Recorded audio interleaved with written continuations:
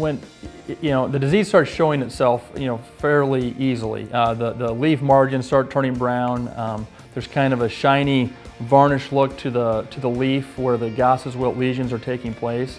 And when you get to the scouting part of it, um, it it's nice to let them know that it's there because a lot of times if it's late in the season, um, they'll see the plants start to kind of die off early. And if they're not aware that it's the disease causing it, they may just think that the plant is maturing a little bit quicker than normal.